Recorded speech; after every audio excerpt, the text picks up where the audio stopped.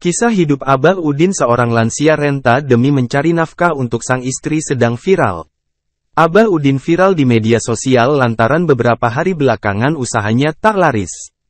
Abah Udin menciptakan usaha berupa jasa. Jasa tersebut adalah jasa timbang berat badan keliling. Abah Udin menarik tarif Rp2.000 untuk siapa pun orang yang mau menggunakan jasanya. Nasib terbaru Abah Udin akhirnya diketahui. Saking sepi pelanggan, Abah Udin sampai tak kuat lagi mencari nafkah. Kini, pria lansia tersebut hanya bisa duduk termenung di dekat ruko. Bahkan kerap kali Abah Udin diusir oleh pemilik toko setempat. Tingkah Abah Udin viral setelah video yang memperlihatkan dirinya berhasil mencuri perhatian internet. Sebuah video seorang kakek renta terduduk mencari nafkah menawarkan jasa timbang berat badan di emperan toko, viral di media sosial. Ia menawarkan jasa timbang berat badan tersebut hanya bertarif Rp2.000. Malangnya, kakek renta itu ternyata sudah tiga hari belum dapat pelanggan hingga harus menahan lapar.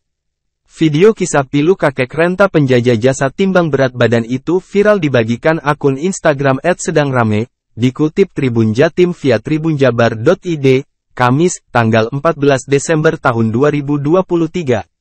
Sebuah video seorang kakek renta terduduk mencari nafkah menawarkan jasa timbang berat badan di emperan toko, viral di media sosial. Ia menawarkan jasa timbang berat badan tersebut hanya bertarif Rp2.000. Malangnya, kakek renta itu ternyata sudah tiga hari belum dapat pelanggan hingga harus menahan lapar. Video kisah pilu kakek renta penjajah jasa timbang berat badan itu viral dibagikan akun Instagram sedang rame, Dikutip Tribun Jatim via tribunjabar.id, Kamis, tanggal 14 Desember tahun 2023. Namun, ternyata Abah Udin yang terduduk itu bukan bermaksud meminta-minta. Terlihat Abah Udin membawa alat penimbang berat badan di sampingnya. Saat dihampiri seorang wanita, ternyata Abah Udin menawarkan jasa timbang berat badan. Lalu, wanita tersebut menggunakan jasa Abah Udin tersebut menimbang berat badannya. Abah bade nimbang, Wios. Abah, aku mau menimbang, boleh, tanya wanita, diduga pelanggan Abah tersebut. Dengan semangat Abah Udin itu mempersilahkan wanita pelanggannya tersebut.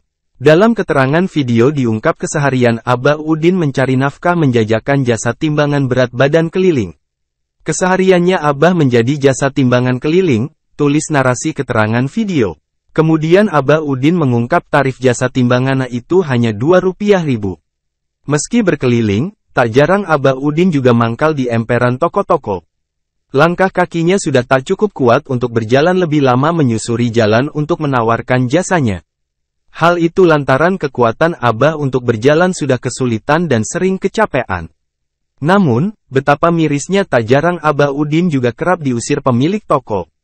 Abah biasa mangkal di pinggir toko orang, tak jarang Abah suka kena usir pemilik toko, tulis keterangan narasi video viral tersebut. Ternyata ada alasan di balik Abah Udin masih giat mencari nafkah.